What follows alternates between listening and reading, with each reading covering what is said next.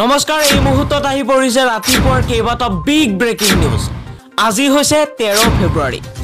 অসমৰ লগতে ভাৰতৰ বিভিন্ন প্ৰান্তৰ পৰা এনেধৰণৰ খবৰসমূহ নিতৌ চাবৰ কাৰণে চেনেলটো ছাবস্ক্ৰাইব কৰি ভিডিঅ'টোত এটা লাইক কৰি দিব। মুখ্যমন্ত্ৰী ডক্টৰ হিমন্ত বিশ্ব শৰ্মাক হুংকাৰ। হিমন্ত বিশ্ব শৰ্মাক মুখ্যমন্ত্ৰী পদৰ পৰা বৰ্খাস্ত কৰাৰ দাবী তেলেংগানাৰ মুখ্যমন্ত্ৰীৰ। এই মুহূৰ্তত জনাই আছো এটা ব্ৰেকিং নিউজ কংগ্ৰেছ নেতা ৰাহুল গান্ধীৰ ওপৰত কৰা বিতৰ্কিত মন্তব্যৰ বাবে। অসমৰ মুখ্যমন্ত্ৰী ডক্টৰ হিমন্ত বিশ্ব শৰ্মাক বৰ্খাস্ত কৰিবলৈ প্ৰধানমন্ত্ৰী নৰেন্দ্ৰ মোদীক দাবী জনাইছে তেলেংগানাৰ মুখ্যমন্ত্ৰী কে চন্দ্ৰশেখৰ ৰাৱে। মুখ্যমন্ত্ৰী ডক্টৰ হিমন্ত বিশ্ব শৰ্মাক লক্ষ্য কৰি শনিবাৰে কৈছে যে মোদীজী ইয়া আমাৰ ভাৰতীয় সংস্কৃতি নেকি? বেদ মহাভাৰত ৰামায়ণ আৰু ভাগৱত গীতাত ইয়া শিকোৱা হৈছে নেকি? মই বিজেপিৰ সভাপতি জে পি নাড্ডাক সুধিছোঁ বুলি মন্তব্য কৰিছে মুখ্যমন্ত্ৰী কে চন্দ্ৰশেখৰ ৰাৱে এইটো আমাৰ সংস্কৃতি নেকি? আপুনি তেওঁক বৰ্খাস্ত কৰক। অসমৰ মুখ্যমন্ত্ৰীক বৰ্খাস্ত কৰক মই দাবী জনাইছোঁ বুলি মন্তব্য কৰিছে। এজন মুখ্যমন্ত্ৰীয়ে এনেধৰণে কথা কয় নেকি? ইয়াৰ সীমা থকা উচিত।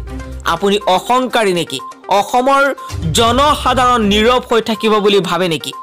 হায়দৰাবাদৰ পৰা পঁচপন্ন কিলোমিটাৰ নিলগৰ ৰায়গিৰিত এই মন্তব্য কৰিছে চন্দ্ৰশেখৰ ৰাৱে। কিন্তু কিয় এই মন্তব্য কৰিছিল? ৰাহুল গান্ধীক লৈ মুখ্যমন্ত্ৰী ডক্টৰ হিমন্ত বিশ্ব শৰ্মাই। হিমন্ত বিশ্ব শৰ্মাই শুকুৰবাৰে উত্তৰাখণ্ডত বিজেপিৰ এখন নিৰ্বাচনী সভাত ভাষণ দি ৰাহুল গান্ধীৰ পিতৃৰ পৰিচয় সন্দৰ্ভত বিতৰ্কিত মন্তব্য কৰিছিল। ইয়া বিজেপিৰ সংস্কৃতি নেকি ইয়া হিন্দু ধৰ্ম আৰু ভাৰতীয় সংস্কৃতি নেকি? ভাৰতীয় হিচাপে মই দাবী জনাইছোঁ বুলি মন্তব্য কৰিছে কে চন্দ্ৰশেখৰ ৰাৱে। মই লজ্জিত অনুভৱ কৰিছোঁ। এইটো দেশৰ বাবে ভাল নহয়। আপুনি ভাবে নেকি যে আমি হাত সাৱটি বহি থাকিম? তেওঁৰ লগতে এই প্ৰশ্ন উত্থাপন কৰিছে মুখ্যমন্ত্ৰী ডক্টৰ হিমন্ত বিশ্ব শৰ্মাৰ বিৰুদ্ধে। পৰৱৰ্তী খবৰটো হৈছে ডিঙৰ বিধায়ক আমিনুল ইছলামে এক ডাঙৰ গোহাৰি প্ৰকাশ কৰিছে। আৰু নগাঁও জিলাৰ সকলো কৃষক ৰাইজক আহ্বান জনাইছে যে পি এম কিষাণ আঁচনিৰ অধীনত নতুন নাম অন্তৰ্ভুক্তিৰ বাবে অহা চৈধ্য জানুৱাৰী চৈধ্য ফেব্ৰুৱাৰী চৈধ্য দুই দুহেজাৰ বাইছ অৰ্থাৎ ফেব্ৰুৱাৰী মাহৰ চৈধ্য তাৰিখে নিম্নোক্ত স্থানসমূহত সজাগতা ও পঞ্জীয়ন শিবিৰৰ আয়োজন কৰা হৈছে।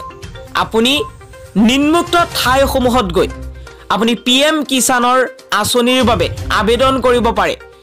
যোগ্য কৃষকসকলে উক্ত শিবিৰত উপস্থিত হৈ আবেদন দাখিল কৰিবলৈ আবেদন দাখিল কৰিব পাৰিব। আবেদন কৰিবলৈ কি কি প্ৰ- প্ৰমাণ পত্ৰ লাগিব সেই কথা ঘোষণা কৰা হৈছে।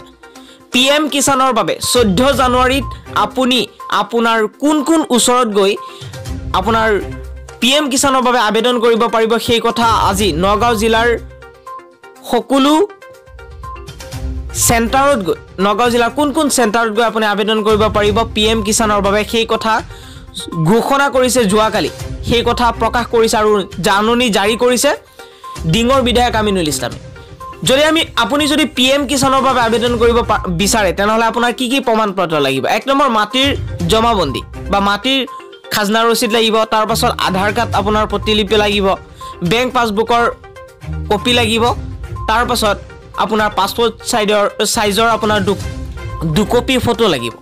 আৰু এতিয়া নগাঁও জিলাৰ কোন কোন ঠাইত আপুনি গৈ চৈধ্য ফেব্ৰুৱাৰীত আজি হৈছে তেৰ ফেব্ৰুৱাৰী মাত্ৰ এদিন মাজত আছে আৰু এই চৈধ্য ফেব্ৰুৱাৰীত গৈ আপুনি ক'ত ক'ত নগাঁও জিলাৰ ক'ত ক'ত আপুনি গৈ পি এম কিষাণৰ বাবে আবেদন কৰিব পাৰিব সেই কথা ইয়াত ঘোষণা কৰা হৈছে। এক নম্বৰ কৃষি চক্ৰ দেওধৰ পঞ্জীয়ন কৰা স্থান হৈছে দেওধৰৰ তুলসী দেউৰী গাঁও পঞ্চায়ত কাৰ্যালয়। আপুনি তুলসী দেউৰী গাঁও পঞ্চায়ত কাৰ্যালয়ত গৈ আপুনি নগাঁও জিলাৰ যিসকল আছে তেওঁলোকে গৈ আবেদন কৰিব পাৰে। আৰু খেনচোৱা খেনচোৱাত আপুনি ডিফলু গাঁও পঞ্চায়ত কাৰ্যালয়ত আপুনি যাব পাৰে। ননৈ যিসকল আছে ননৈত যিসকল আছে তেওঁলোকে সূতাৰগাঁও গাঁও পঞ্চায়ত কাৰ্যালয়ত গৈ আপোনালোকে আবেদন কৰিব পাৰে চৈধ্য ফেব্ৰুৱাৰীত। আৰু তাৰ পাছত আছে চকলাঘাট। চকলাঘাট আপোনাৰ জামুগুৰি গাঁও পঞ্চায়ত কাৰ্যালয়ত গৈ আপুনি আবেদন কৰিব পাৰে। তেলীয়া বেবিজিয়া। যিসকল তেলীয়া বেবেজীয়াত থাকে তেওঁলোকে তেলীয়া বেবেজীয়া গাঁও পঞ্চায়ত কাৰ্যালয়ত গৈ আপোনালোকে আবেদন কৰিব পাৰে। দগাঁৱত যিসকল থাকে তেওঁলোকে পৰিদৰ্শন বাংলা চক্ৰ বিষয়াৰ কাৰ্যালয় য'ত আছে ৰূপহী তাত আপোনালোকে গৈ আবেদন কৰিব পাৰে। নাঙলদু নাঙলদোৱা নাঙলদোৱাত যিসকল আছে নগাঁও জিলাৰ তেওঁলোকে হাতীমৰা গাঁও পঞ্চায়ত কাৰ্যালয়ত গৈ এই পি এম কিষাণৰ বাবে কৃষি পি এম কিষাণৰ বাবে আপো- আপোনালোকে আবেদন কৰিব পাৰে। ঠিক আছে তাৰপাছত আঠ নম্বৰত দিয়া হৈছে চমুৱা গাঁও। চমুৱা গাঁৱত যিসকল আছে তেওঁলোকে পৰিদৰ্শন বংলা গড়গাপ্তানি বিভাগ ডিঙৰ ডিঙত গৈ আপোনালোকে আবেদন কৰিব পাৰে। যিসকল বটদ্ৰৱা থাকে তেওঁলোকে পৰিদৰ্শন বাংলা গড়গাপ্তানি বিভাগ বটদ্ৰৱা তাত গৈ আপোনালোকে আবেদন কৰিব পাৰে। বালুচৰ যিসকলে বালুচৰত থাকে তেওঁলোকে ৰৌমাৰী গাঁও পঞ্চায়ত কাৰ্যালয়ত গৈ আবে- আবেদন কৰিব পাৰিব। ৰহা ৰহাত যিসকল থাকে তেওঁলোকে পৰিদৰ্শন বাংলা গড়গাপ্তানি বিভাগ ৰহাত গৈ আপোনালোকে আবেদন কৰিব পাৰে। তাৰ পাছত বাৰ পুজীয়া বাৰ পুজীয়াৰ যিসকল থাকে তেওঁলোকে ফুলগুৰি গাঁও পঞ্চায়ত কাৰ্যালয়ত পাৰিব। চাপৰমুখ যিসকলে চাপৰ মুখত থাকে তেওঁলোকে মহকুমা কৃষি বিষয়া কাৰ্যালয় ৰহাত গৈ আপোনালোকে আবেদন কৰিব পাৰে। যিসকলে কামপুৰত থাকে তেওঁলোকে পৰিদৰ্শন বাংলা গড়কাপ্তানি বিভাগ কামপুৰত তাত গৈ আপোনালোকে আবেদন কৰিব পাৰে। যিসকলে কচুৱা থাকে তেওঁলোকে পৰিদৰ্শন বাংলা গড়কাপ্তানি বিভাগ কামপুৰত গৈ আপোনালোকে আবেদন কৰিব পাৰে। জ- আহ, তাৰ পাছত জখলো জখলাবান্দাত যিসকলে থাকে জখলাবান্দাত যিসকল থাকে তেওঁলোকে চেকনি বৰখোলা গাঁও পঞ্চায়ত কাৰ্যালয়ত আবেদন কৰিব পাৰে। ঠিক আছে তাৰপাছত সাতবৰ যিসকলে সাতবৰত থাকে তেওঁলোকে পূব পূব পূবথিৰীয়া পূবথৰীয়া গাঁও পঞ্চায়ত কাৰ্যালয়ত আপোনালোকে গৈ আবেদন কৰিব পাৰে।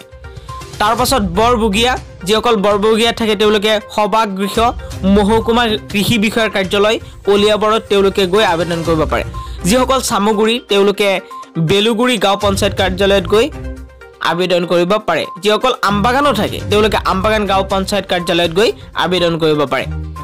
ৰূপহীত যিসকল আছে তেওঁলোকে গেৰিয়া আৰু গত গটঙা গাঁও পঞ্চায়ত কাৰ্যালয়ত গৈ গেৰিকি আৰু গটঙা গাঁও পঞ্চায়ত কাৰ্যালয়ত গৈ আবেদন কৰিব পাৰে ৰূপহীৰ মানুহে। পুৰণি গুদামত যিসকল আছে তেওঁলোকে পুৰণি গুদাম গাঁও পঞ্চায়ত কাৰ্যালয়ত গৈ আবেদন কৰিব পাৰে। এয়াই হৈছে চৈধ্য ফেব্ৰুৱাৰীত চৈধ্য ফেব্ৰুৱাৰীত এই স্থানসমূহত গৈ আপুনি যি নথি পত্ৰৰ কথা ক'লোঁ এই নথি পত্ৰ লৈ চাৰিটা নথি ল'ব মাটিৰ শেহতীয়া যিটো খাজনা ৰচিদ সেইটো আধাৰ কাৰ্ডৰ ফটোকপি বেংক পাছবুকৰ কপি তাৰপাছত দুকপি। আপোনাৰ পাছপোৰ্ট চাইজৰ ফটো লৈ এই স্থানসমূহত গৈ চৈধ্য ফেব্ৰুৱাৰীত কেইটা বজাত যাব ইয়াত লিখা আছে? চৈধ্য ফেব্ৰুৱাৰীত পুৱা এঘাৰ বজাত।